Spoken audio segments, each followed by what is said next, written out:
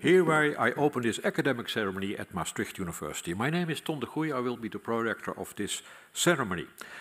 And first of all, I welcome uh, Mr. Lambertus Marie Verheijen. He will defend his thesis in public, and the thesis is entitled The Ubiquitin Protease, Proteasome System in Neurodegenerative Diseases Lessons from Mutant Ubiquitin.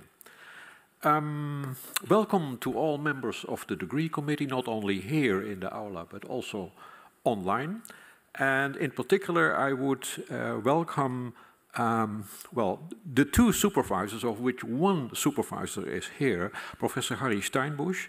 He's a professor of cellular and translational neuroscience at Maastricht University. And unfortunately, uh, the co-promoter, Professor David Hopkins, is not able to join us today here in the degree committee.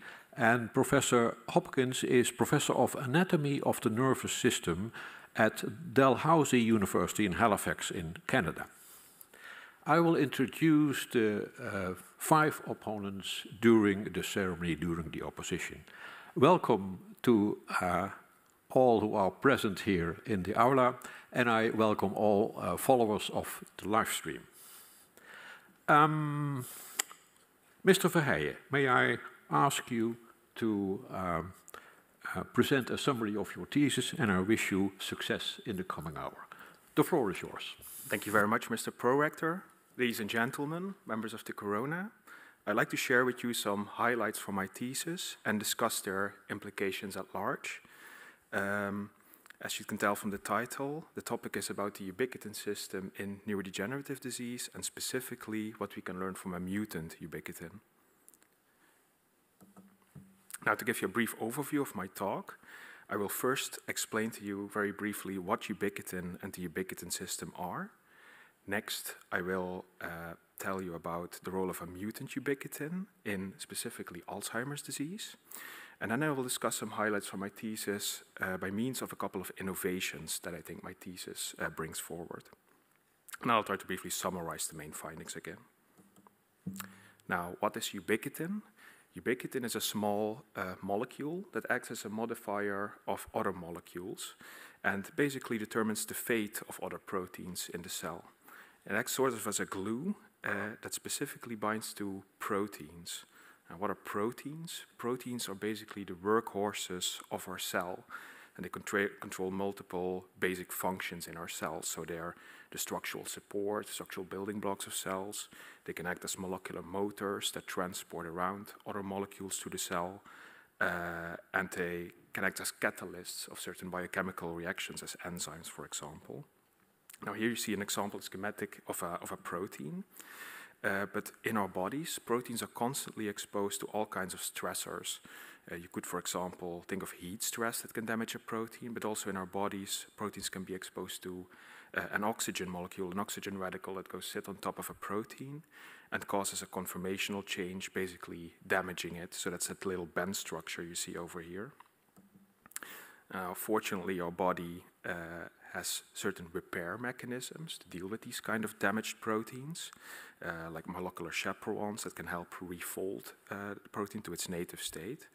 Uh, but that's not always possible. And if these mutant abnormal or abnormal proteins would stick around, we would be in a, in a world of trouble uh, because they cannot carry out their normal functions anymore. unfortunately, uh, life has evolved uh, mechanisms to do away with these harmful damaged proteins. Uh, and one primary signaling factor for doing away with these proteins is this molecule ubiquitin. And you see that here. Once you have uh, uh, a damaged protein, it's a little band structure, to a process called ubiquitination, this molecular glue, this ubiquitin, can become conjugated to this abnormal protein and sort of acts as a dev tag uh, for these molecules. Because once these molecules have, these proteins have been tagged, they will be signaled for destruction by the proteasome. And you see that schematically here. The proteasome is this big intracellular machine that acts as a molecular shredder, or sort of a meat grinder, that chops up these tagged proteins into little uh, bits. Now, how does this tie in with neurodegenerative disease? Here on top, you see two pictures. In the top panel, you see a, a healthy brain from a normal, from a healthy person, neurotypical person. And in the bottom, you see uh, the brain, a postmortem brain of a, of a Alzheimer's disease patient. And what's obvious is that it's a lot smaller, and you see all these grooves in the brain, so there's a lot of uh, atrophy going on. And when you look into sections of this Alzheimer's brain, so you cut it up and look at it under a microscope, you can see this characteristic protein aggregate structure. So on the left, you see uh, these uh, A beta, A beta plaques. Uh, and on the right, you see these structures which are called neurofibrillary tangles. And these are made up of the type of abnormal proteins that I just showed uh, schematically. And interestingly, to neurodegenerative diseases like Alzheimer's as compared to other neurological disorders can be highly heterogeneous. Virtually all of these disease cases, they present with these abnormal protein aggregates. And interestingly, most of these protein aggregates are frequently highly ubiquitinated, which means that probably our cells have a problem of doing away with these proteins as a clearance uh, issue. And further, there's inherited mutations uh, that also cause neurodegenerative diseases, uh, which shows a causal connection between the ubiquitin system and uh, uh, neurological disease. Now, perhaps the most compelling evidence for the involvement of the ubiquitin system in neurodegeneration came from work by the late Fred van Leeuwen in the 1990s. And he discovered through a mechanism called molecular misreading, which I won't explain in detail right now, how a mutant variant of ubiquitin can arise. And this is the only known naturally occurring uh, mutant ubiquitin. And here on the left side, you see schematically what a normal protein would look like, this, this green line over here. But through this mechanism, uh, mutant proteins can arise that have this abnormal uh, C terminus. And the C terminus, this uh, structure at the end, this little red uh, line over here, uh, cannot fulfill, causes ubiquitin to not carry out its normal function anymore. So it cannot conjugate these protein substrates for degradation. And here on the right side, you see a, a panel uh, with a section of an Alzheimer's brain again. And in black, you see a staining, a so-called immunostaining, in which this mutant ubiquitin molecule has been visualized. And we see that this mutant ubiquitin accumulates specifically in Alzheimer's disease uh, patients. Now, to study or understand the role of this mutant ubiquitin in disease further, transgenic animals uh, were generated uh, mice that specifically express this abnormal ubiquitin molecule. Uh, and here you see in the top panel a sagittal section of a mouse brain, so sections were made, and you look at it from the lateral side, and you see in this in dark or in purple, you see structures that are positive for this mutant ubiquitin, uh, so this mutant ubiquitin expression at high levels.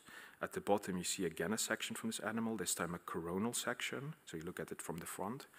Uh, and tissue was isolated and chemically processed uh, to measure proteasome activity, so the activity of this meat grinder I showed before. And it was found that this mutant ubiquitin, sort of as expected, results in a lower proteasome activity as compared to healthy animals.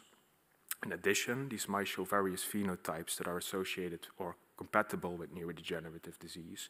So they show memory deficits in behavioral tasks, for example. Now I come to the first uh, innovation of the thesis, which was to provide a mapping of uh, mutant ubiquitin expression in this mouse model and to compare it uh, with the expression of mutant ubiquitin in Alzheimer's disease patient uh, brains. So here again you see such a sagittal uh, sections with these UBB plus 1, these mutant ubiquitin positive structures.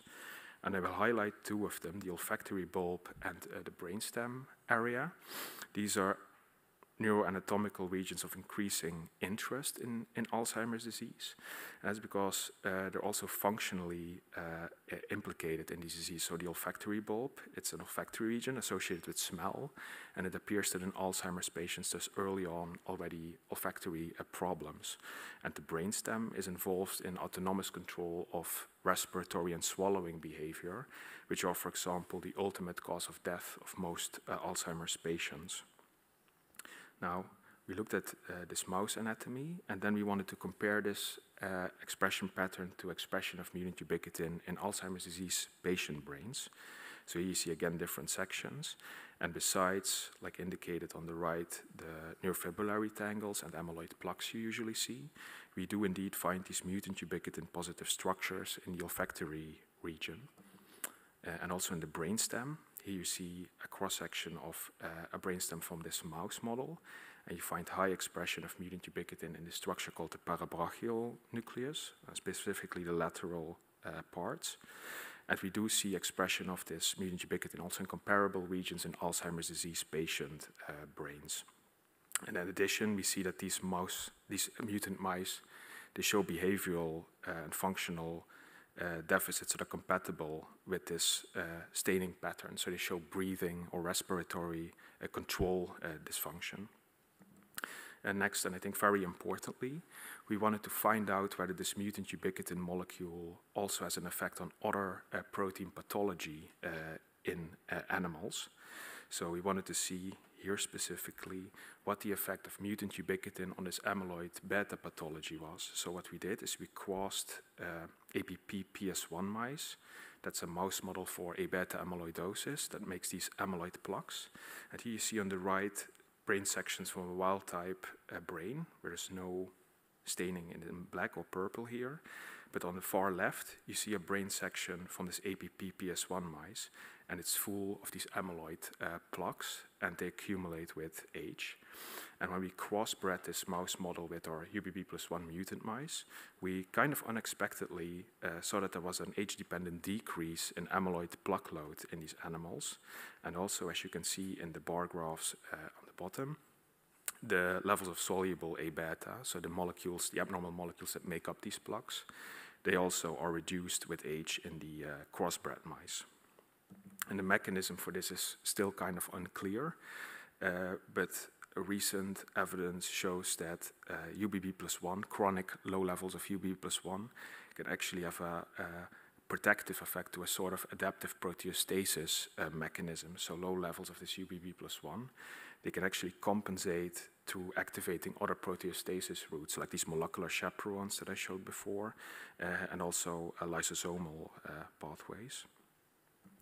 And lastly, we were interested to find out whether this mutant ubiquitin can also be detected in other brain disorders besides Alzheimer's. Uh, previous work has already shown that there's other disorders like Huntington's disease in which this mutant ubiquitin accumulates. I was specifically interested in this disease called ALS PDC, amyotrophic lateral sclerosis, Parkinsonism, dementia. Uh, and that's a disease found at high incidence in a certain geographic part of the world, thought to have an environmental uh, etiology. Um, uh, and there we indeed uh, found that this mutant ubiquitin was also present, together with other UPS uh, components. Um, and the reason of why we were specifically interested, or I was specifically interested in this disease, is because this is a so-called multi-proteinopathy. So besides plaques and tangles that are characteristics of Alzheimer's, they show many other types of abnormal protein pathology. Uh, here you see a protein called TDP43 that's specifically associated with ALS or motor neuron disease. And I won't cover this in too much detail because it's quite technical, but also here we were interested to find out whether this mutant ubiquitin could affect the aggregation and toxicity of this TDP43. And we sort of found the same thing as for the amyloid beta pathology I showed before, that depending on the context, uh, you can actually have a protective effect to chronic expression of this mutant ubiquitin. Uh, and with that, I'd uh, like to summarize uh, the main findings of the thesis. We showed that mutant ubiquitin can be used as a marker to identify neuroanatomic regions associated with neurodegenerative disease. Uh, we showed that it can be used as a probe to identify UPS deficits in other neurodegenerative diseases, like this ALS-PDC syndrome. Uh, and that we can use this mutant ubiquitin as a tool uh, to study the role of the ubiquitin system in neurodegenerative disease. And I think that's something that is a highly uh, underexplored uh, uh, uh, use of this mutant ubiquitin molecule. And with that, I'd like to end and thank you for your attention. And I'd like to give the word back to the prorector. Thank you very much, Mr. Verheijen, for your clear summary of your thesis. The opposition uh, will be opened by uh, Professor Reutlingsberger. He is Professor of Biochemistry of Apoptosis at Maastricht University. Professor Reutlingsberger. Thank you, Mr. Prorector. Uh, dear candidate, I, I, would like to start my, uh, my opposition with uh, congratulating you with this excellent piece of work. I, I enjoyed reading it. I'm a biochemist, and I learned a lot about uh, biochemistry now in in uh, protein uh, proteostasis and the meaning to neurodegeneration. I would also like to give the compliments uh, to your uh, promotion team because uh, they supported part of this, I think. And um, what I would like to uh, discuss with you is uh, central in your uh, thesis is the ubiquitin, you nicely explained in your uh, presentation here.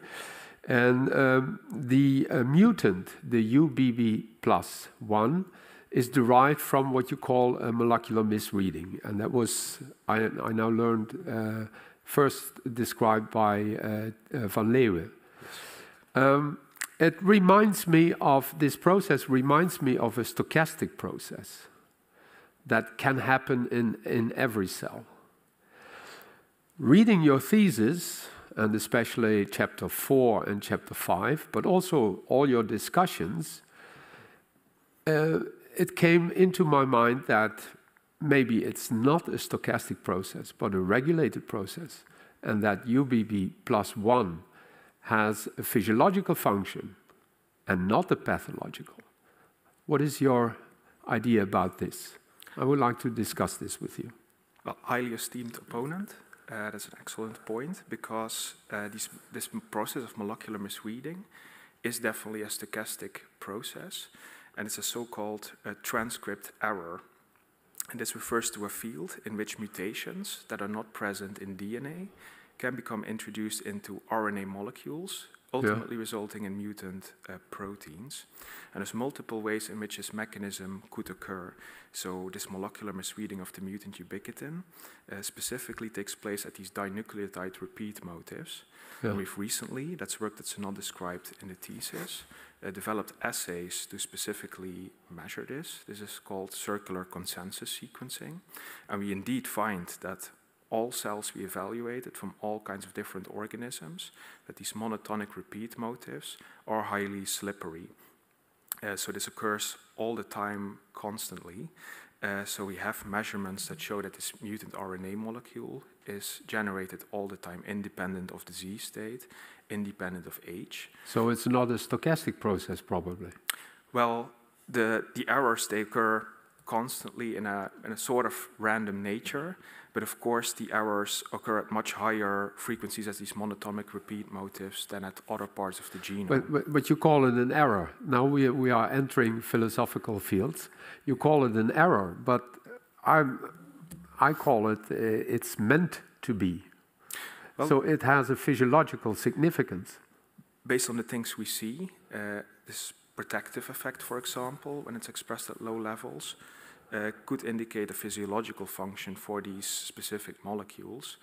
Um, it's sort of also dependent on uh, dosage levels. It's not something I talk about extensively, also not in the thesis, uh, but different transgenic mice were generated, for example, yeah. and you see that when it's expressed at very low levels, it's actually completely cleared from the brain.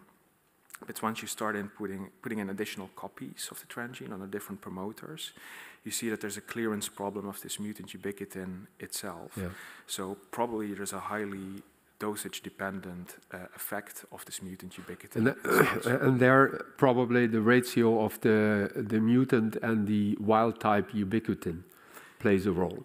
Yeah, this is something you did not measure, eh? the the well, level of the wild type uh, ubiquitin in your uh, thesis. We did also do, I'm not sure if there's data are in there, but we also did constantly measurements of the wild type ubiquitin levels. Okay. And we see those are not really changed in the mutant ubiquitin condition. Of course, UBB or ubiquitin itself is also highly stress inducible. Uh, but we see, for example, in the crossbred mice, that there's no difference in uh, wild type ubiquitin levels. We also did these experiments in uh, human uh, neurons recently, uh, and there we see that UBB plus 1 itself is sufficient to induce different kinds of protein pathology. Actually, I have a slide uh, on that as well. Uh, so we express this mutant ubiquitin in uh, human iPS-derived neurons, yeah. and we find that uh, the mutant ubiquitin, in the absence of any genetic risk factors, so like familial Alzheimer's mutations, which are causal for the disease, is sufficient to induce blocks and tangles in the human uh, neuronal models. Uh, and also there we see that there's a ubiquitin-dependent effect in the previous slide in these yeast systems. We also did this in, in the human cells. Uh, we see that the effect of UBB plus one is highly context dependent. Uh, so here on the top, yeah. for example, this is this yeah. So, so that that brings me to uh, to another point I would like to discuss with you, and that is in your thesis, you uh, you assume or uh, you uh, propose that the UBB plus one and the UPS may have a cause causal effect on on the on the disease, mm and I'm now thinking, is it is is it really a cause for the disease or one of the causes for the disease, or is it a consequence of the disease? Well, that has been a discussion for a very long time. Like we see these UBB plus one molecules in Alzheimer's even at very early stages of pathology. A nice thing with these diseases like Alzheimer's is you can very accurately stage them pathologically and uh, predict its progression uh, uh, pathologically. And we see that this mutant ubiquitin is present at very early stages, Braak zero stages. Yeah. But the discussion always was like, well, is it a cause or consequence? Because the earliest intraneuronal A beta pathology yeah. also is present very early on in the disease.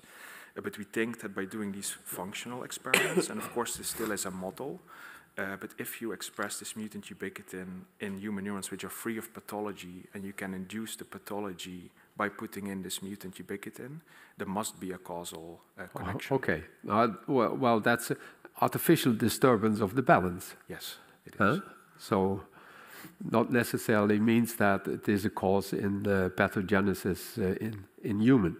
But uh, let's assume that, that it is a cause of disease. And, and uh, you told us that uh, this molecular misreading happens in every cell type then I would think that uh, in those patients where obviously uh, the balance is disturbed and you have a, an, an, overexpression of the UBB plus one in, in the brain, it will also be overexpressed in other, other organs. Let's say, for example, the heart, which uh, has also uh, postmitotic uh, cells. Have you seen any, any aberrations in your mouse model at the cardiac level? And, and in patients with Alzheimer, do they have cardiac problems?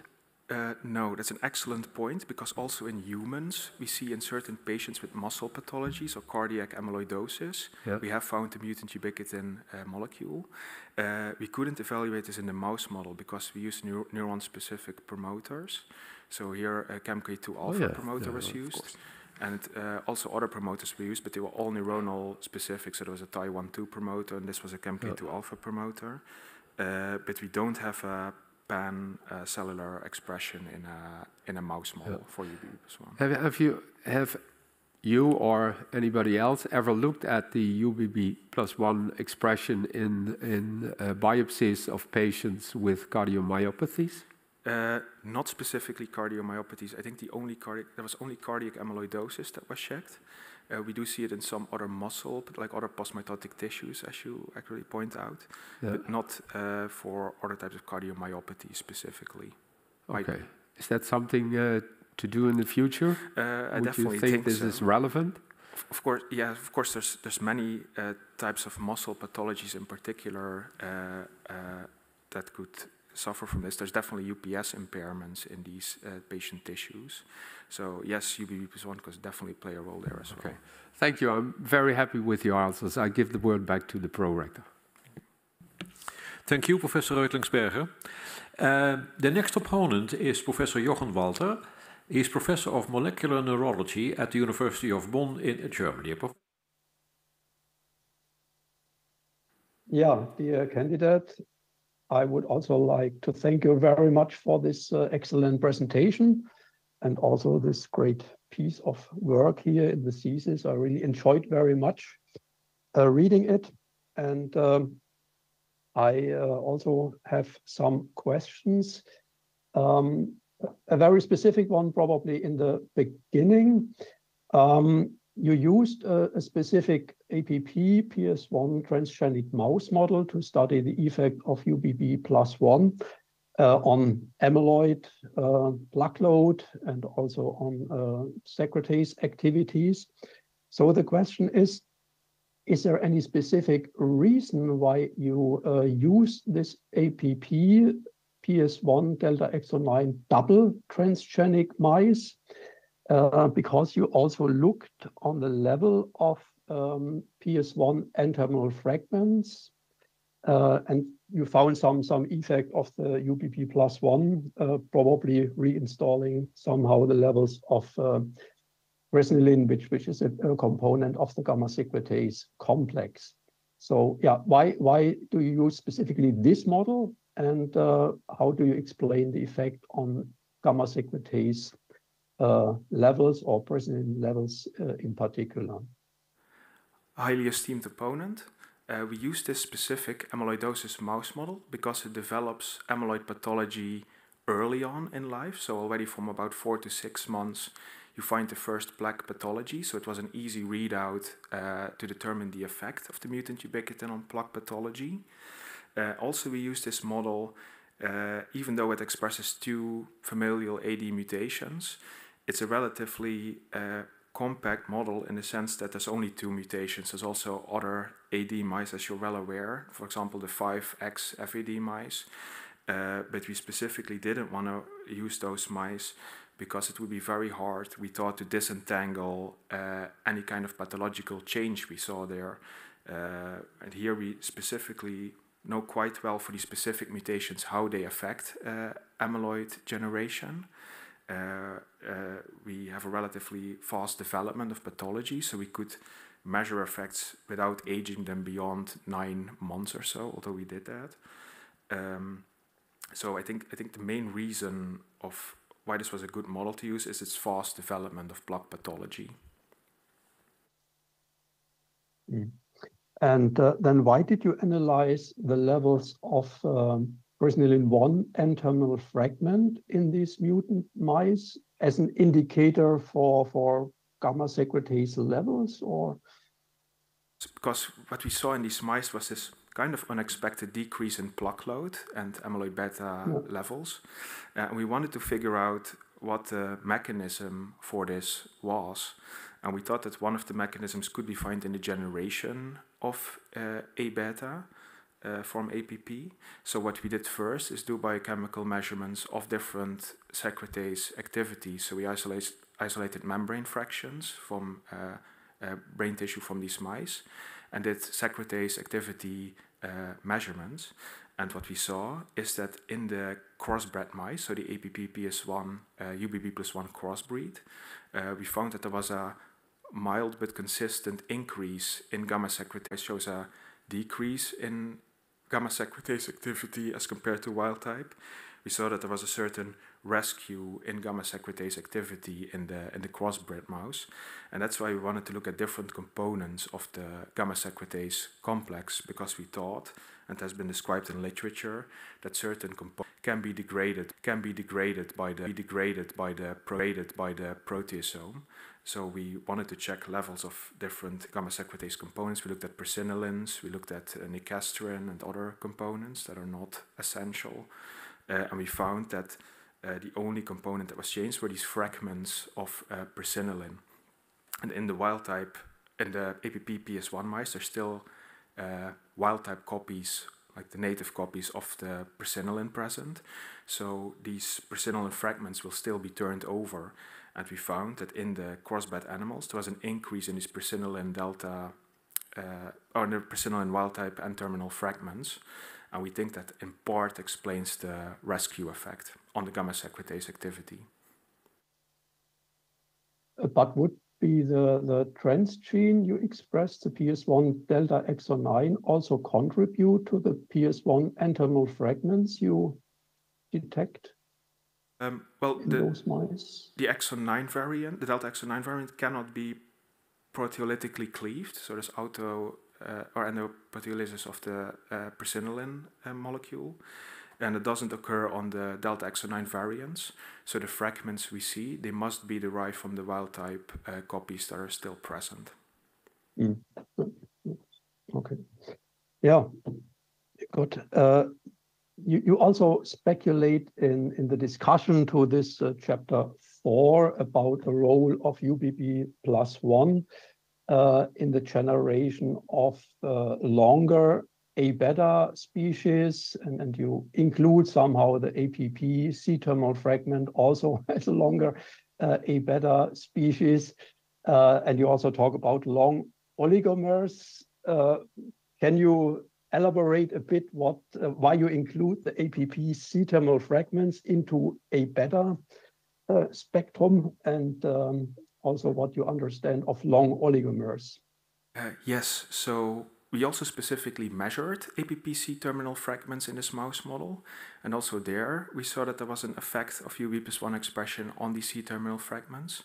And as you will know, these C-terminal fragments, these C99 fragments primarily, they're the basis for these long A-beta uh, oligomers. They just get cleaved differently by the gamma secretase. Uh, and why I wanted to mention this specifically is because there's well, I wanted to say emerging evidence, but I think there's a lot of proof now that actually not the plasma membrane is the primary site of A beta generation, uh, like has been the textbook example. I think more and more evidence suggests, both genetic evidence and cell biological work, suggest that most A beta, long A beta, that would be both the oligomers and the C terminal fragments, are generated at the sites of intraneuronal organelles and primarily endosomes reason of why we specifically wanted to measure the APP-C terminal fragments is also because we see that there's high levels of toxicity of the C terminal fragment when you express it in neuronal models. Uh, and I think both endolysosomal processing and retromer dependent trafficking of APP will become the dominating uh, mechanisms for APP generation in Alzheimer's studies. I think the previous or prevailing view that APP is primarily cleaved from the plasma membrane of neurons is incorrect, or at least it's not the primary factor in generating uh, A beta molecules. Does that answer yeah, your question? Yeah, yeah uh, exactly. Yeah. Thank, thank you very much. Uh, but this brings me to the to the next question. If there is uh, time, as you mentioned, the probably endolysosomal system is important component in, in disease etiology. And what is known, I, I, think you, you wrote in the thesis a bit that the overexpression or the generation of UBP plus one also affects other degradation pathways, uh, maybe lysosomal activity or, or autophagy. So did you also analyze, uh, let's say, the activity of these other degradation pathways, how they are affected by UBP plus one? This is an uh, this is a very obvious point from the adaptive proteostasis point of view. So if the mutant ubiquitin can also reroute uh, abnormal substrates or protein substrates to other degradation pathways, that might explain this rescue effect by crossbreeding these animals to UBP plus 1 mice. And I actually think this is the primary uh, mechanism underlying this rescue effect. We did measure different proteostasis components, mostly by Western blotting and immunostainings. And we looked at lysosomal or autophagy markers. Uh, we looked at chaperone expression. Certain chaperones were highly induced by mutant ubiquitin, both in cell models and in animals. Uh, for example, that's 1433 zeta and some of these regulatory uh, chaperones. We did not see an induction of autophagy markers, for example, in the uh, brain tissues from these animals, but we only looked at it with blots for a couple of autophagy markers. We didn't do uh, any kind of reporter system for autophagy or lysosome uh, acidity or anything like that. And I think what's most likely to explain this effect of mutant ubiquitin, this adaptive proteostasis, is many uh, changes at low levels. So I think if you would look into these mice with uh, comparative transcriptomics or proteomics approaches, we would probably see that uh, there's an induction of other proteostasis pathways at mild levels that together result in a rescue effect. And actually, there's a recent paper by uh, Dina Petranovic in Sweden, who mostly studies mutant ubiquitin in yeast. And there they see that indeed mutant ubiquitin uh, upregulates many different components of the lysosomal pathway, uh, all at very mild levels. If you would do blots, you only see mild changes. I have to interrupt you. We have to move on to the next opponent. Thank you very much. Thank you very much, uh, Professor Walter. Uh, the next opponent is uh, Professor David Wilson. He is Professor of Neuroscience at Hasselt University in Hasselt, Belgium. Professor Wilson. yeah, I, I, also want to uh, echo some of the sentiments that have already been expressed. Um, I found your thesis uh, really enjoyable to read. Uh, particularly the introduction, I thought it was quite elegant and thoughtful, and I, I really appreciated your historical perspective that you brought to the, to the, to the content. Um, you also should be congratulated on your excellent contribution, so uh, thank you to you and your team and your colleagues. Um, my questions are going to revolve around three primary topics. Uh, the first one is uh, this uh, process that you've already discussed a little bit, this molecular um, misreading. So what I'd like to know a little bit more about is what is known about the underlying mechanisms. Why does this transcriptional error or purposeful event occur? And um, are, are, there protein components that are involved in suppressing or regulating this? Highly esteemed opponent. Uh, regarding the molecular misreading, uh, we see in different assays that molecular misreading, so these transcript errors or these frame shifts that occur in certain repeat motifs, are a universal feature in our genome. They're not the only factor in causing these abnormal RNA molecules. So we distinguish uh, molecular misreading from a broader transcript error mechanism, and there's many different factors that are found to control this. So whereas the monotonic repeat motifs, they're highly slippery for the polymerase, uh, we see that there's different factors that can contribute. There can be stochastic truly stochastic factors in which there's random errors on certain uh, bases, uh, but there's also uh, protein components that regulate it. So, for example, RNA polymerase II, the primary polymerase that makes uh, messenger RNAs, it has this proofreading domain, and uh, there's certain mutations in the RNA polymerase that also make the polymerase more or less error prone. It's the same for DNA polymerases. Uh, and interestingly, for RNA polymerases, people have not looked in that much detail at different variants which are more or less, which have more or less fidelity. Uh, and we do find that there are certain mutations, even in uh, patients with certain uh, developmental disorders, that make the RNA polymerase more or less error prone. And I think the most important factor, besides these uh, genomic hotspots, so these repeat motifs, are both other type of genome changes. So the genome is a highly structured uh, a molecule, uh, and we find that the conformation. So there's these uh, projects like the ENCODE project, project with MAP in different types of human stem cells, for example, how the genome is organized at certain regions. And we redo our error measurements with sequencing-based assays. We see that the genome structure matters a lot, and probably besides the monotonic repeats, the most important factor is uh, DNA damage. And it's surprising that, well, maybe because the technology has not been around for a very long time, uh, we see that DNA damage can actually substitute for other bases. So just like uh, during DNA replication, uh, mutants, mutations can be introduced. Also, modified bases by damage uh, can be misread by the polymerase consistently. Uh, and what we see in single cell sequencing assays we modified uh, is that if you introduce certain lesions, which look very much like native bases, for example, there's a lesion called O6-methylguanine. It's also repaired by the specific enzyme MGMT. Um, we see that it kind of causes repetitive errors on these lesions. So as long as the error is not repaired, uh, the same abnormal molecule can be uh, uh, produced over and over again, generating a pool of identical mutant molecules. And we think that together with this molecular misreading, uh, can cause a, a, constant supply of abnormal, potentially amyloid and prion-like uh, molecules. And so besides DNA mutations be, being a base consequence of DNA damage. Also, this induction of uh, transcript mutations should be considered. And I think specifically for the repeat motifs, these are constant hotspots. So we see in young, old animals, we see that the repeat motifs, they constantly produce a about 100-fold higher uh, error output than at yeah, steady state. Yeah, so do you know in repair mutant backgrounds, do you see elevation in some of these misreading events? Yes, we didn't do it in MGMT uh, uh, knockout animals or CRISPR-Off models or something like that. Uh, in yeast, there's a homolog called MGT1, uh, and we did do DNA damaging treatments on MGT1, uh, and we do see that whereas DNA mutations do not occur in non-cycling cells because they cannot replicate, they do not make mutations.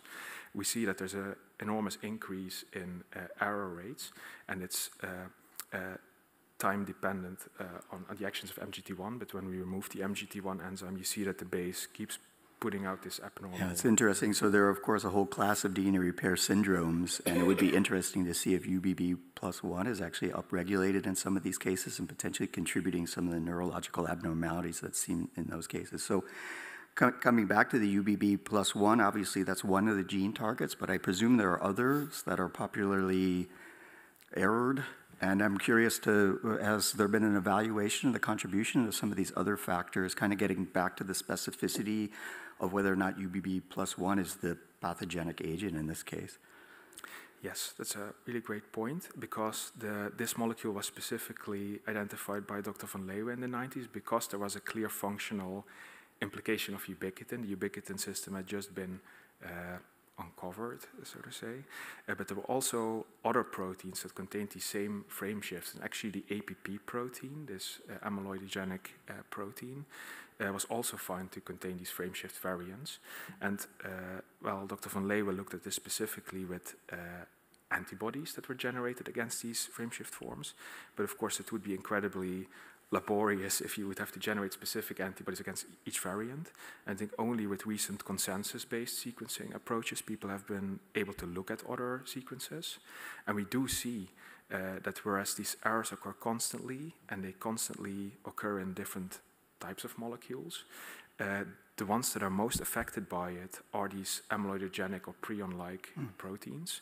It's very interesting, and it comes back to your first uh, question, is because if you look in these error-prone mutants, they actually have these proteostasis uh, abnormalities. So if you make a yeast cell or a human cell with an error-prone polymerase, it makes these aggregates. And we're quite mm. surprised by it because we would have expected the view in the field is kind of that these errors are transient, so how could they ever affect biology?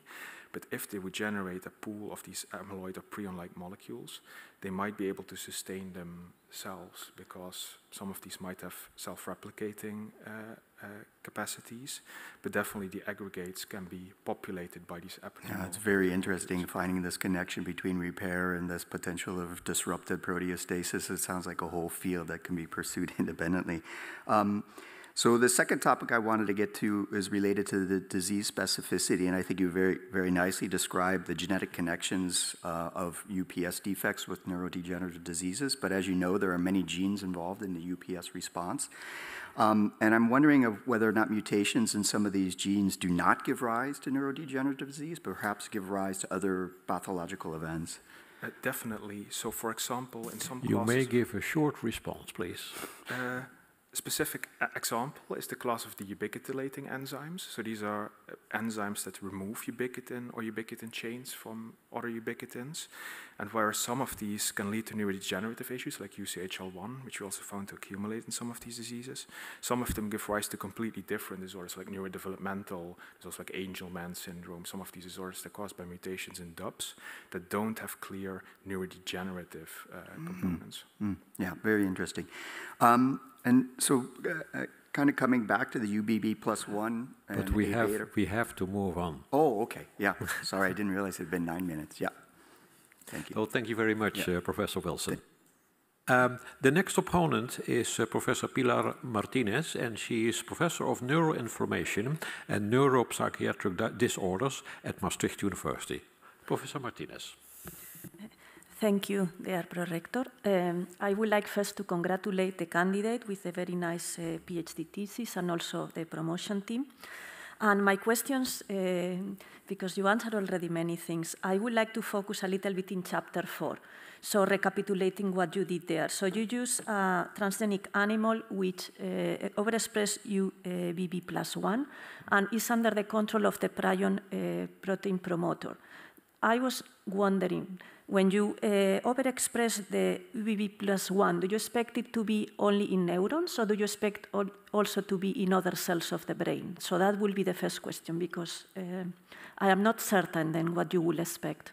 In this specific, highly esteemed opponent, in this specific case, um, there's a CAMK2 alpha promoter for the UBP1 mice, so you would expect only neuronal expression.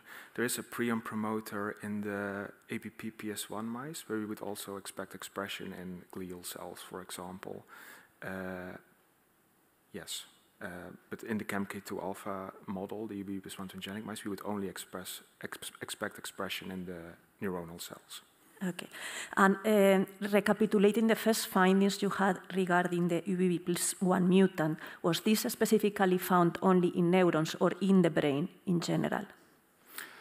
Uh, I'm sorry, the, the So it was the UBB plus 1 mutant uh, findings uh, initial by Dr. Uh, van Leuven, Professor van Leuven, found only in neurons, so were these general in the brain?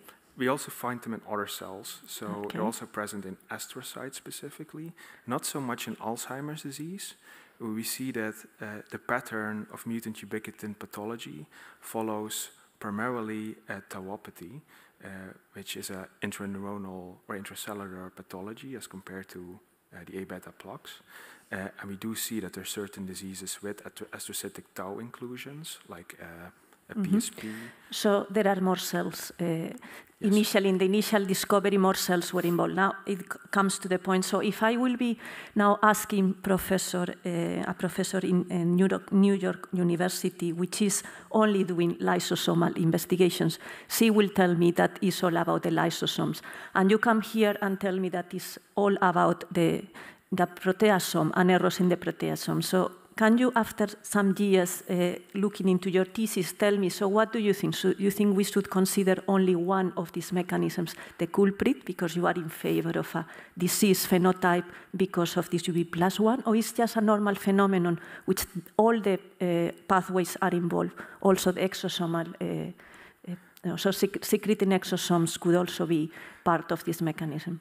Yes, this is a question that comes back all the time because people have dedicated their lives or careers to either studying the proteasome or lysosomal systems. I think it's uh, neither totally. I think it's actually ubiquitin itself or ubiquitin signaling itself. Because what people often fail to realize, um, and it's something also in my introduction, I indicated ubiquitin as a signaling factor for the proteasome. But ubiquitin does a lot of other things in cells. Uh, mm -hmm. Basically, I think most cell biological functions have been ascribed to at least be affected by ubiquitin to some extent. So ubiquitin actually also controls trafficking to the lysosome and controls lysosome fusion. Uh, and I think okay, uh, just sorry to interrupt. So if you think it's more about the ubiquitin, but for example, in the brain, if you look to the brain and you mainly focus in protein degradation, but the most abundant species in the brain are not proteins, are lipids. Then I was wondering, uh, lipid degradation happens also via the lysosomal uh, pathway, and also lipids are very secreted via extracellular vesicles as one of the ways to also get rid of them when you cannot degrade uh, them well. So then I, I am wondering if you really focus in proteins as the main culprit, so what happens with the lipids then? Yeah, so lipid biology is like this big emerging uh, field in neurodegenerative disease. And I know that lipids definitely get degraded by lysosomal, uh, turned over by lysosomal pathways. Uh, and where the proteasome would fit in there is not uh, immediately clear.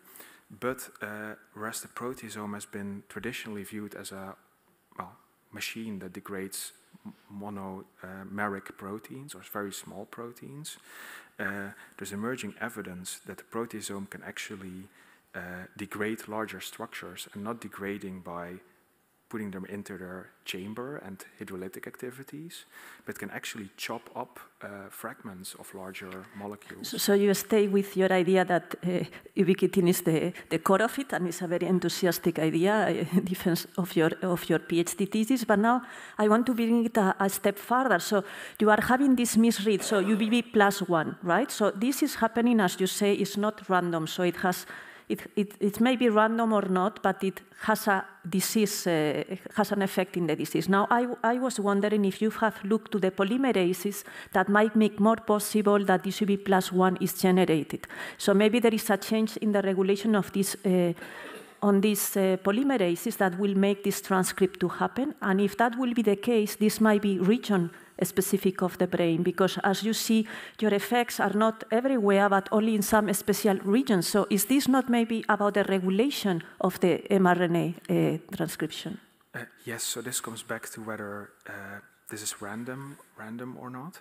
Uh, we do see that different genomic uh, organization, also epigenetic factors, for example, they can determine the error rates on certain parts of the genome. We don't know whether this is true for these monotonic repeats because they constantly put out an enormous amount of errors. And we did measure uh, error rates on these monotonic repeats also in error-prone mutants. Uh, also looking at different uh, yeah. effects of genome organization, and we don't see that effect on these monotonic repeat. Uh, okay. Rates. So just one point. I think it will be very interesting to analyze the same, but in other cell types. I, I think because, like, for example, microglia also have to degrade a lot of proteins that, or a rest of proteins, debris and uh, cellular damage uh, cells during uh, neurodegenerative diseases. So I think it will be very interesting to analyze that also in microglia. But I would like to go to your uh, statement number 10, yeah. where you mentioned, uh, maybe you can uh, read it to us, uh, or your paranif could read it to us, uh, Denise. Uh, statement number 10. Yes. Oh, sorry. Uh, biology is inherently messy. We need clear thinking to understand its mysteries. So could you explain us why did you come to this statement uh, as very important? yes, so I think I think in in uh, the field of different diseases, people have looked at gene mutations, some environmental factors as causative of disease.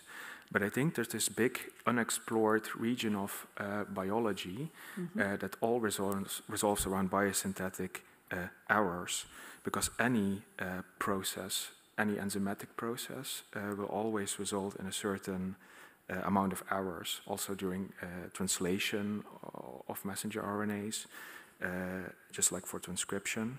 Uh, and I think uh, this whole area of biology has been largely invisible because people on one hand didn't really care about this. They were only interested in finding out how frequently something works. They're obviously not immediately interested in how frequently something does not work. Um, but I think uh, these errors will become a more dominating factor in biology, and especially in neurodegenerative diseases where there's often no identifiable cause. I think these molecular errors, if they result in prion-like behavior or amyloid Yeah, behavior. I was thinking uh, when I read this statement for me, this was meaning more in the sense that biology is very difficult to know certain that you are right. So there is a lot of room for, for uh, arguing whether it's right or not. While if you look to physics or chemistry or mathematics, you always know that is correct. So when you have an equation and the result is there, you know that this is the right answer. And in biology, not. So I will, I had interpreted your statement in this way, you know, so that in biology, nothing, you are never certain. Maybe next year somebody tells you everything you thought it was wrong, and now we know, you know, that has uh, our idea of biology might change next year. Thank you for your, uh, for your answers, and I give the word back to the prorector. Thank you, uh, Professor Martinez, and thank you for being the secretary of this degree committee. Um, the opposition will be continued by uh, Dr. Laurence Nijs. She is assistant professor of psychiatry and neuropsychology at Maastricht University. Dr. De Nijs. Yeah, so dear candidate, I would like first to congratulate you for this nice thesis. I really enjoyed reading it and it's very nice to see uh, a thesis with all published papers. Um, and I would like also to uh, congratulate your promotion team. Um, I have a question related to the fact that, that you uh, described that UBB plus one could be used as a potential biomarker uh, in patients. But you mentioned that because it's only mostly present within the cells, that it's probably not being able to be measured in liquid biopsies. So uh, regarding recent advancement in technologies that found out that uh, extracellular vesicles can carry some protein content and be retrieved in, in biofluids and could be used as biomarker, and the fact that, for example, A-beta can be also uh, detected in those extracellular vesicles, I would like to ask you your point of view, or did you change your mind now, and, and could you see this as a potential use to detect UBB plus one in, in blood, for example? Highly esteemed opponent. I definitely think uh, UBB plus 1 has biomarker potential, and I think there's basically two or three uh, lines of work that recently led to uh, uh increasing evidence that UBB plus 1 can be used as a biomarker.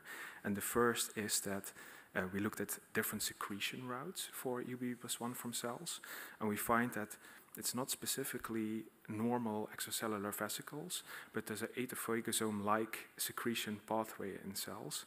It's called MOPS. Um, uh, that specifically uh, ejects UBB plus 1 molecules from cells. So there is definitely a secretion in cellular systems. Also, just like for some other abundant molecules in neurons, like UCHL1, this deubiquitinating enzyme, that can be measured in CSF or liquor uh, samples just because of the damage of uh, neurons that are being uh, degraded is released into the uh, uh, liquor totally so you can measure that in liquor samples for example with proteomics approaches or mass spectrometry. Um, and something we've started looking into is looking at uh, antibodies or patient-bound antibodies against these mutant ubiquitin species because they're basically non-native uh, ubiquitin proteins, like they don't resemble the wild-type ubiquitin. There's actually also an immune response from patients even to low levels of these mutant molecules. And we do find autoantibodies against uh, mutant ubiquitin and also other protein variants in patient uh, blood samples. Uh, so we also think those might be uh, useful as a biomarker. So you, you indeed nicely mentioned that it could be useful as a biomarker, but uh, given the fact that it has been found to be present in several neurodegenerative disorder, so how do you see the clinical relevance of using it? Do you see it as a general biomarker of neurodegeneration or more at specific Alzheimer's disease or uh, other type of neurodegenerative disorders? Yes, I would definitely see it only as a marker for the specific disease has been identified and You cannot, or you, I wouldn't expect to be able to differentiate Alzheimer's disease from other neurodegenerative disease in which UBE plus 1 accumulates. But I think with uh, therapies becoming available for certain neurodegenerative disorders, I think there's a need for markers that will allow you to longitudinally follow uh, progression of the disease or the impact of treatments. And if the ubiquitin system is a key player in disease progression, I think measuring this mutant ubiquitin could also be used as such a longitudinal uh, marker. Thank you. So I have another question that follow up a, a previous discussion about the misreading uh, and the, the, the, production of the UBB1 uh, protein. So you nicely described several mechanisms, but you didn't talk about epigenetic mechanisms. So I would like to have your vision. Do you think epigenetic mechanisms could also play a role in the production of that uh, specific protein and that could explain the heterogeneity that you can find also in, in different disorder and, and cell type?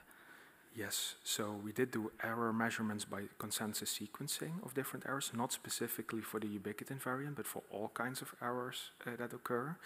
And we do see that epigenetic factors play an important role, and it's mostly the uh, conformation of the genome that plays a role in how actively uh, genes are transcribed.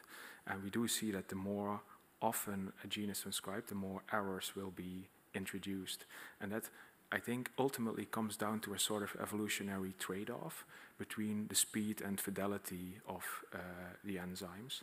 And that's true for any type of biological reaction, I think, that they don't just need to be accurate for life to uh, be sustained, but also need to be fast enough. Uh, and I think there's a trade-off because you see for different types of polymerase, also DNA polymerases, the higher fidelity they have, the slower they uh, are. So we definitely think that uh, the activity state of the genome or how actively it's inscribed, or we can measure that, uh, results in different amounts of errors or different error rates. So that's also where these methylation factors come into play, for example. Yeah. And uh, if I can have a, a last question regarding uh, the different uh, semi-quantitative um, measurements you did all over the different chapters. So I, I wonder why you just did some semi-quantitative measurement and why didn't apply a more quantitative measurement of the presence of different uh, antibodies and how you could be um, uh, to assess the, the accuracy of the measurement uh, you did by Heiss uh, on the different expression level, also on the density of, of the, the, different cells expressing those, uh, those uh, proteins. Yes, so it's not discussed in the thesis. We did do other types of measurements like Western blots on Alzheimer's disease patient brains and controls, which are a bit more quantitative. Uh, we also recently were able to detect UBB+1 with mass spec in different samples, which I think is an ideal way to do it, especially approaches like SRM uh, proteomics. Uh, I think that's currently the gold standard in detecting rare uh, protein variants in uh, patient samples, also like splice variants of certain proteins, for example. Uh, and we do see that we can specifically detect UBB+1. We didn't do it for uh, this Guamanian disease, for example, this ALS-PDC syndrome, mostly because the tissue samples were just too scarce. So whereas most brain banks will have plenty of tissues from different Alzheimer's cases and controls, uh, these diseases have kind of become extinct, uh, so to say, so they don't occur at high incidences anymore. And we had to base our uh, analysis on archival specimens uh, for this analysis. So it was mostly scarcity of the tissues, which causes us to focus on one. Yes, Mr. Verheijen. I think you have noticed that the time for defending your thesis has passed. The committee will now withdraw to discuss the quality of your thesis and in particular the quality of your defense. And please await our return with the results of our deliberation. Thank you.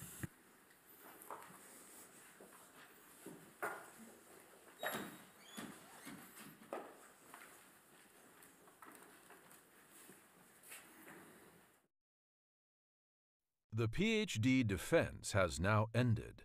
The degree committee will debate the candidate's performance behind closed doors. This process usually takes about 10 minutes.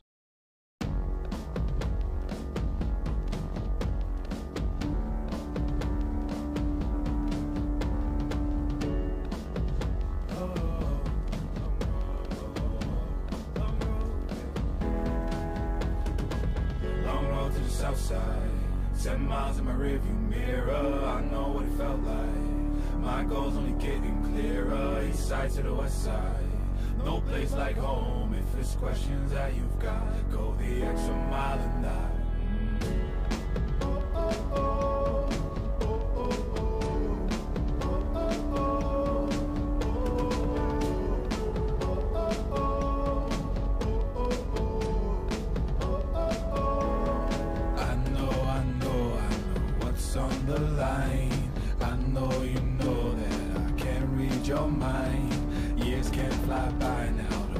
Waste all your time. Cause I'll go, I'll go, I'll go the extra mile.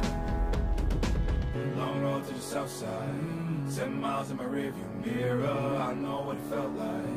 My goals only getting clearer. East side to the west side, no place like home. If there's questions that you've got, go the extra mile and that. On the dash, got my laces tied. Long road, I don't waste no time. Break rules because fate decides. With the team and we chase the light. I make a move, fall down, shake it off. I hate to lose bad branch, break it off. No room for negativity, praise and love. Prepare for deep part cause we're taking off. the mileage, traveling so far from home, gathering knowledge, other connections. I put the time in to get everything I ever hoped for. It's a challenge and we all in. It's a better future that we go for.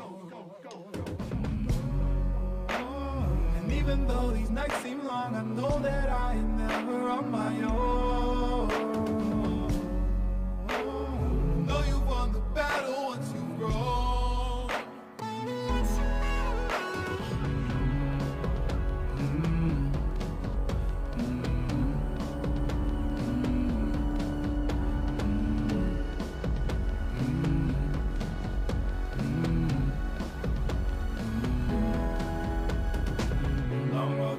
Side. Ten miles in my rearview mirror. I know what it felt like. My goals only getting clearer. East side to the west side. No place like home. If it's questions that you've got, go the extra mile and that.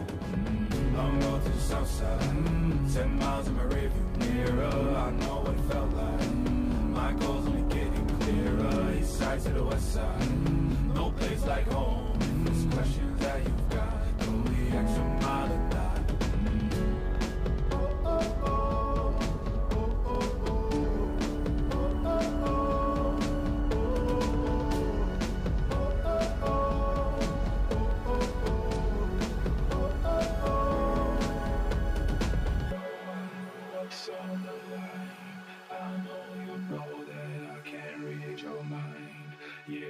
fly by now, don't waste all your time. Cause I'll go, I'll go, I'll go the extra mile.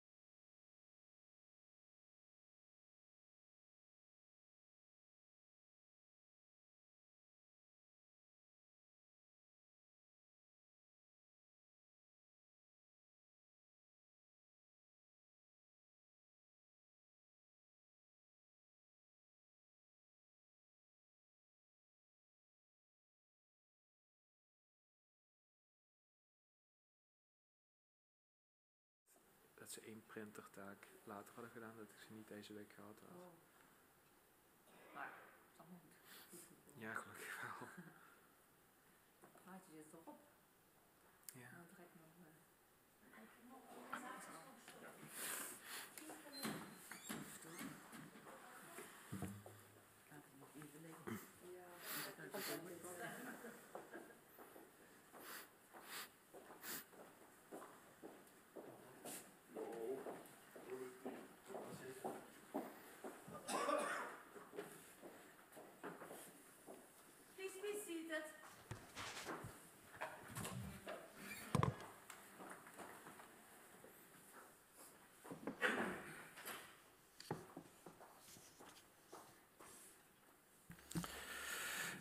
Mr. Lambertus Verheijen.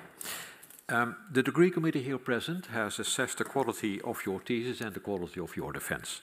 And in view of this positive verdict, and of course taking into account your previous qualifications, the committee has uh, decided to grant you the degree of doctor.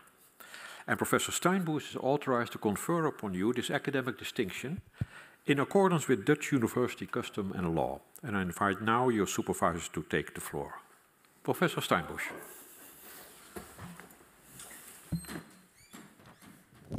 Oké. Ik ga terug in het Nederlands. is ook goed voor je moeder and it's good for your father. So there's a little bit, and I hope our guests also have the opportunity then to learn a little bit Dutch. Geachte, mag, ik mag het niet zeggen volgens mij, want het dit is pas officieel dokter als je dit bulk gegeven. Ja, dit is zo'n zo, zo grensvlak. Mr. Verheijen, geachte heer Verheijen, belooft u dat u altijd volgens de beginselen van de wetenschappelijke integriteit te werk zult gaan. Eerlijk en zorgvuldig, transparant, onafhankelijk en verantwoordelijk. Ja, dat beloof ik. Mooi. Krachtens de bevoegdheid ons door de wet toegekend, volgens het besluit van de commissie hier tegenwoordig, verklaar ik, verklaar ik hierbij u, Lambertus Marie Verheijen, tot dokter te bevorderen en u alle rechten te verlenen die daaraan volgens de wet zijn verbonden. Ten bewijze hiervan overhandig ik u nu de bul door rector, secretaris en overige leden van de promotiecommissie ondertekend en met het grootzegel van onze universiteit bevestigd.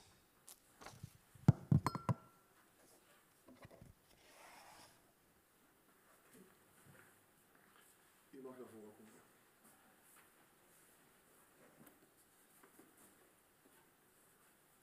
Ik ga je van harte feliciteren.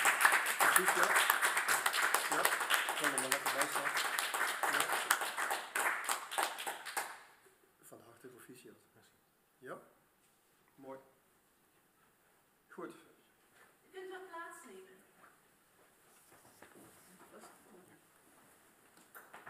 Dan gaan we nu verder met een uh, laudatio. En ik doe het rustig aan, want het kan zijn dat ik wat kuch. Maar uh, dan neem ik een glaasje water. Beste Mark. Ik heb de laatste dagen daar eens over kunnen nadenken, want ik was wat bedlegerig. Maar het is ook een, goed, een goede gelegenheid om eens wat dingen te reflecteren. Het heeft lang geduurd, maar zoals altijd, zou ik willen zeggen, telt alleen het eindresultaat. En minder de weg ernaartoe. Ja? Ik wil het toch op deze ochtend iets zeggen over jouw specifieke weg, die ik toch zou willen omschrijven als lang, hobbelig en bochtig. En ik ga het allemaal toelichten laten, Denise. Onze gezamenlijke reis begon in mei 2012. Dat was de tijd dat professor Hopkins jaarlijks voor drie maanden naar Maastricht kwam. Dat had ik zo georganiseerd destijds als directeur, waarbij hij een sabbatical deed hier. En tijdens dat sabbatical um, van drie maanden werkte hij altijd samen met Fred Verleeuwen. En Fred Verleeuwen die uit het Herseninstituut naar Maastricht was gekomen. En Fred als een echte neuroanatoom, samen met, uh, uh, met Dick Swaap, was helemaal gevestigd op het ubiquitin-proteasoonsysteem en wilde dat verder gaan ontwikkelen. En hij was op zoek naar studenten. En hij kon geen studenten vinden, want alle studenten die wilden heel graag werken op het gebied van molecular biology. En als je zegt, je gaat werken in een microscoop, dan was iedereen afgehakt. Dan zeiden ze, no way, geen interesse in. Ik ga niet met microscoop werken. Maar jij, jij was degene die zei, graag. En je zei, ik ga best werken en ik wil best door die microscoop kijken. Ik wil uren door die microscoop kijken en ik wil, ik wil dingen vastleggen. En in dat opzicht was je al destijds een uitzonderlijke, wat ik zou zeggen, een uitzonderlijke student. En met z'n drieën, Fred, jij en David, zaten uren bij elkaar koepels te bekijken, koepels te bediscussiëren, te vergelijken, Alzheimer, postmortem, zijn uh, muisproeven, et cetera. En ik vond dat toen al, uh, ik vond dat toen al uh, uitdagend voor jou. Ik dacht van, nou, hij is wel volhoudend. Wat ik heb kunnen doen in die tijd was natuurlijk ook dat ik ook zag dat er een, een financiële nood was. Dus we gaven je jouw eerste studentassistentschap. Dat je zei van, ik weet het nog goed, 500 euro per maand. Ja, dus daar kon je dus, daar kon je dus een tijdje wat, uh, wat mee doen. Dus zoals ik al heb gezegd, 2012, het was uh, niet de tijd voor anatomie, het was de tijd voor moleculaire neurobiologie, het was de tijd van systems biology, het was de opkomst van epigenetics en absoluut niet met anatomy en, en publicaties op dat gebied.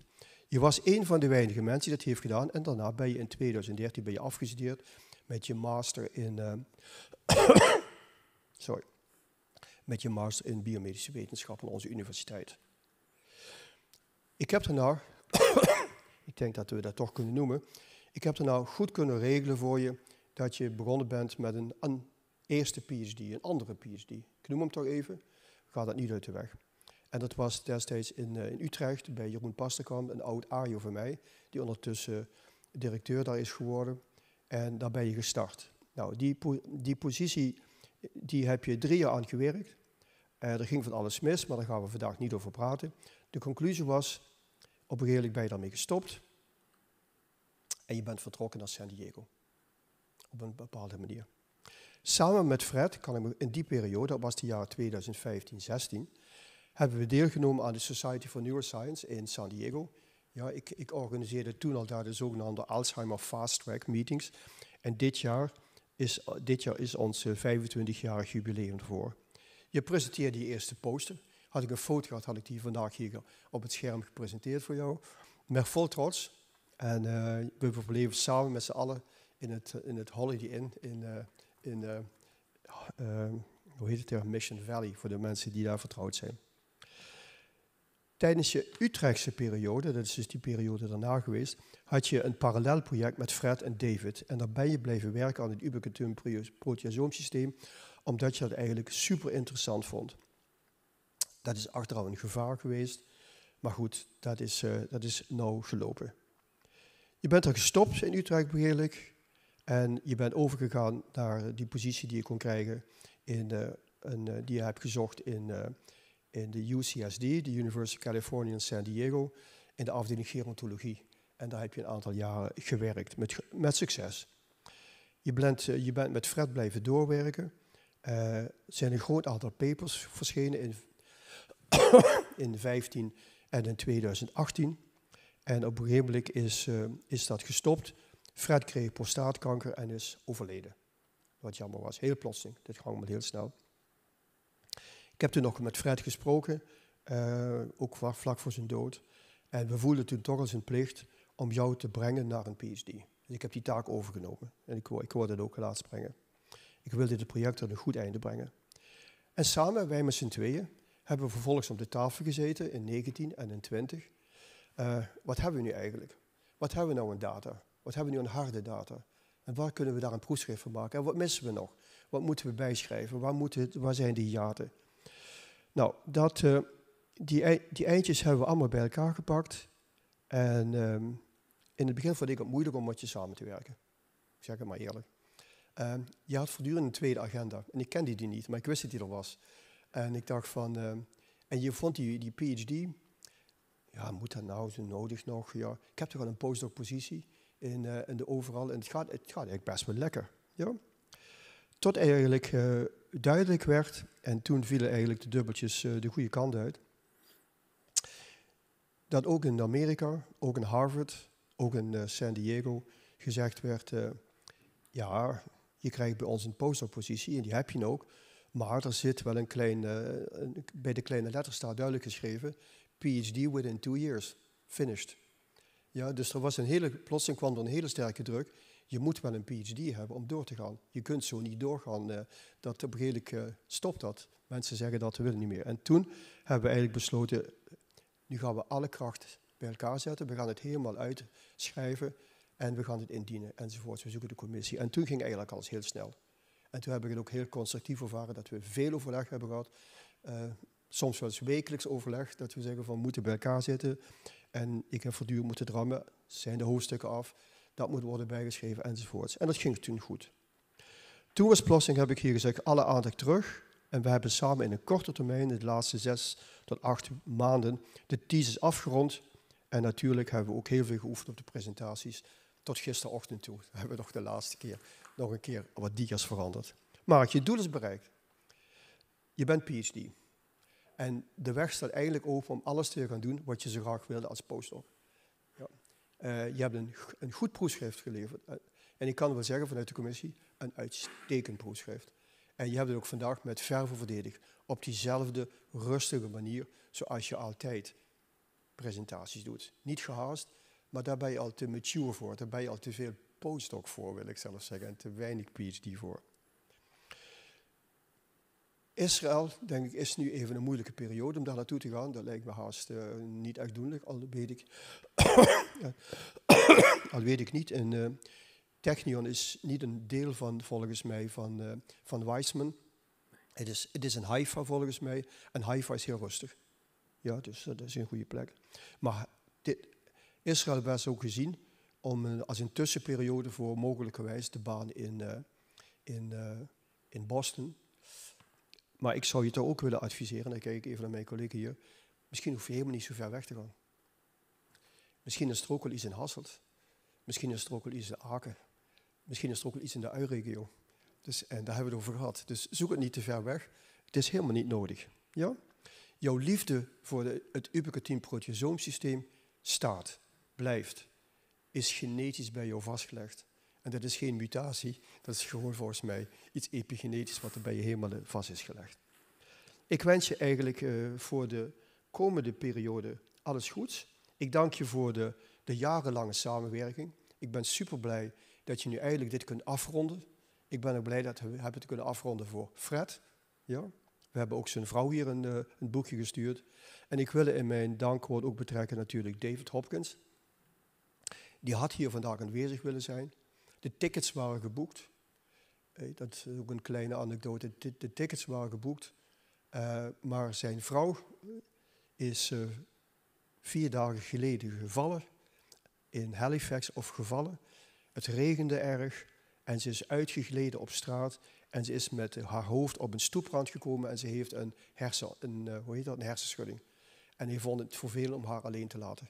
Hij zei, ik kan niet komen, dus ik, heb dat, ik zeg dat af. Online, ik ben wel online. Ik zeg, nee David, je bent niet online. Want online betekent voor jou vier uur s'nachts. Ja, dat is, je moet even denken. Dus, uh, en je bent geëxcuseerd. Dus David, David zullen we nog een aparte bedankje apart sturen. Goed. Dit gezegd hebben, wil ik dan ook uh, danken uh, de leden van de commissie. Voor de prachtige vragen. Ik vond echt mooie vragen die gesteld werden. En de vragen die jij dan ook toch goed oppikte om een keer overview over het veld te geven. Niet hele specifieke vragen, maar mooie vragen. Ik wil in mijn gelukwensen natuurlijk ook betrekken je ouders die hier aanwezig zijn. Je moeder als parennimf. Ja. je, je vader als enige toehoorder. Ja, dat is ook een belangrijke taak. en daarmee wil ik eigenlijk graag, uh, graag afsluiten. Ik geef daarbij het woord terug aan uh, de prorector.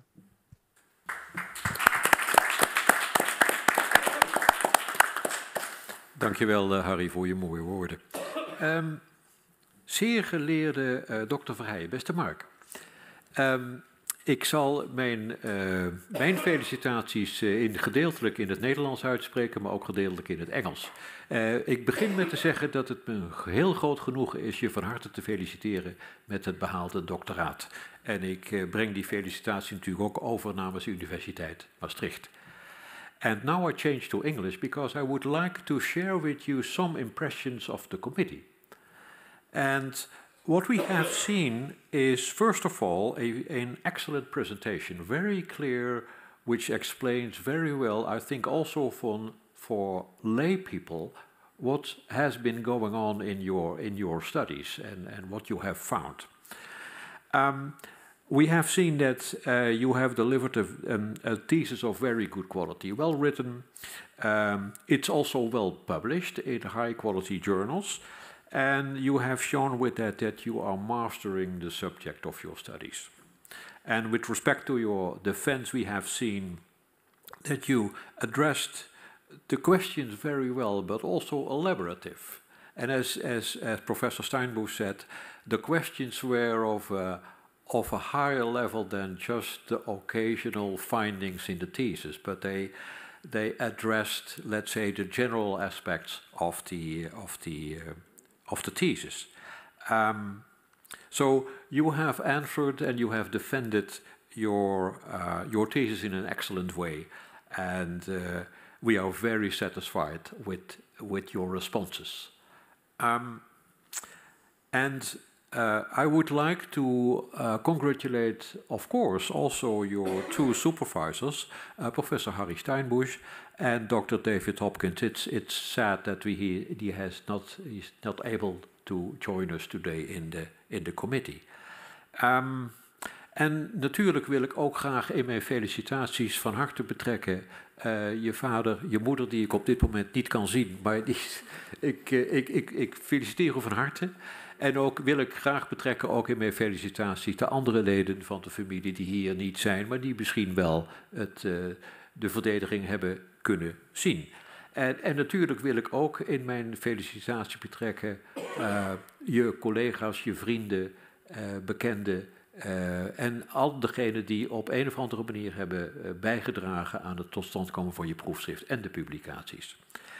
I would like to thank all members of the committee, and in particular, I would like to thank um, the external members of the committee. Uh, Maastricht University appreciates very much uh, your um, contributions to in the way of critical reading the manuscript and having interesting questions here in the defense ceremony. And I would like to give the opportunity to Professor Jochen Walter. He is still online and you, we can see him uh, on the screen. Um, and I would like to invite you to congratulate the young doctor.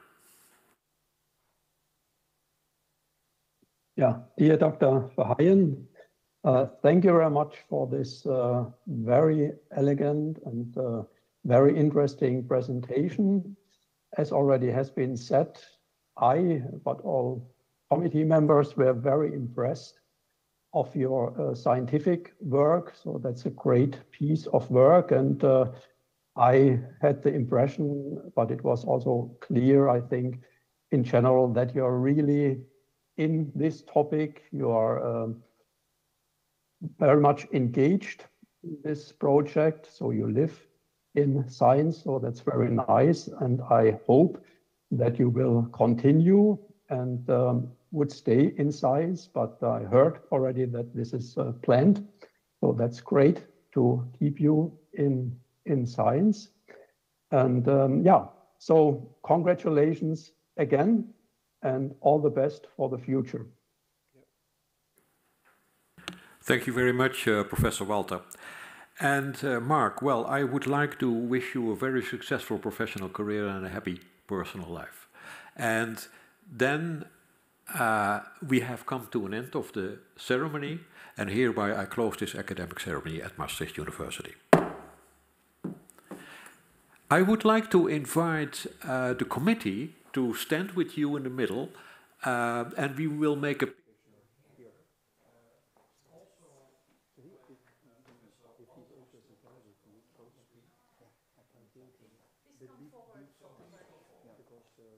Recording stopped.